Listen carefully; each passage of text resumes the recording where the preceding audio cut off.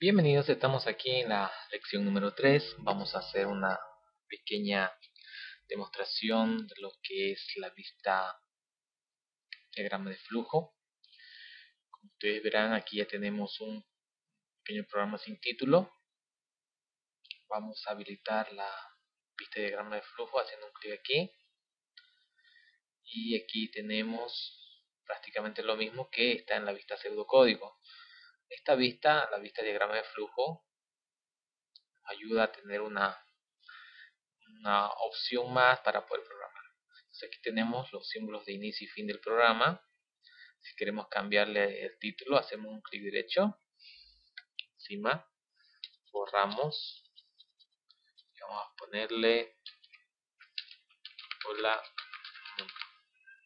listo ahora queremos o sea, este es el título, ¿no? Por si acaso. No se va a imprimir en pantalla, solo es el nombre del programa. si yo quiero mostrar algo en pantalla, tengo que agarrar uno de estos este, eh, objetos o diagramas.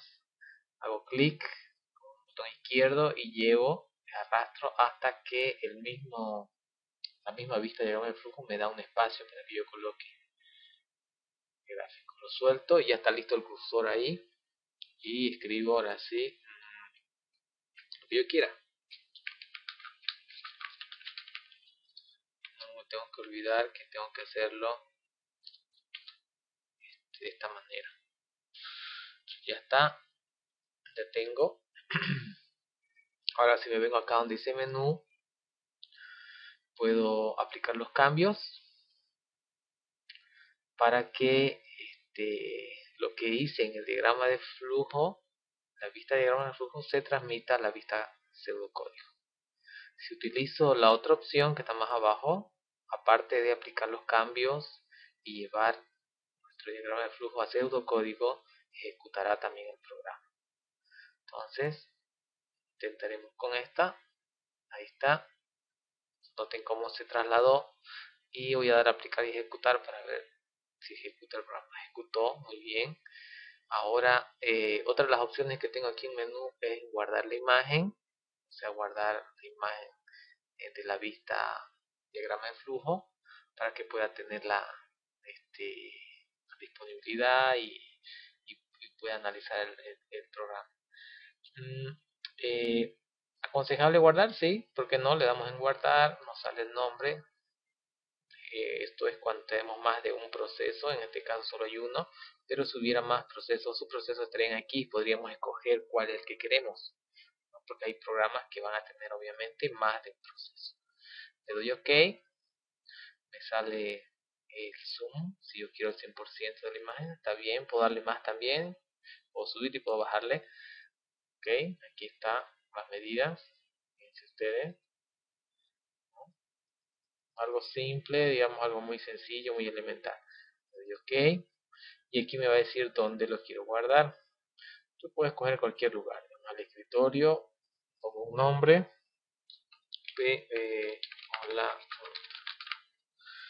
y puedes escoger el formato de la imagen, hay tres tipos de formato, muy conocidos, y le doy guardar. Ya está. Puedo cerrar esto, no hay ningún problema, puedo cerrarlo de aquí también, pero recuerden que he guardado la imagen.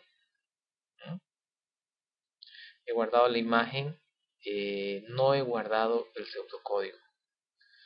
Entonces, este, la imagen solo es una herramienta visual, no puedo recuperarla y abrirla de nuevo aquí en el PCI para seguir aumentándole código, no se puede.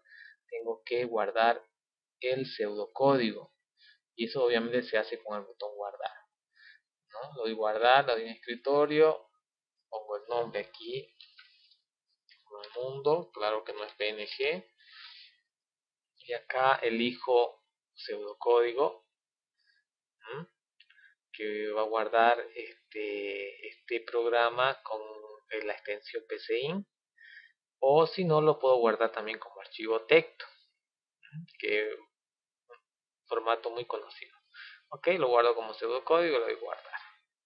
Listo, entonces ya tengo para recuperar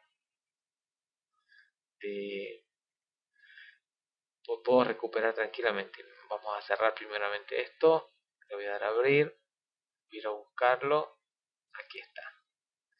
¿Mm? Puedo abrir tranquilamente. ¿Ok?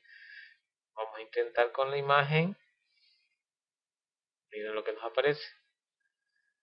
No, obviamente PCI no puede interpretar la imagen. Este, convertirla a pseudocódigo. Bueno, entonces este, yo les invito a que sigan practicando, a que eh, pónganse a trabajar con ambas vistas. Eh, nosotros nos vamos a dedicar más a la vista pseudocódigo, no tanto a diagrama de flujo por el espacio que ocupa, digamos. Eh, el espacio que ocupa el, el, diagrama de flujo siempre va a ser mucho más que el pseudocódigo. Eso sería todo. Gracias.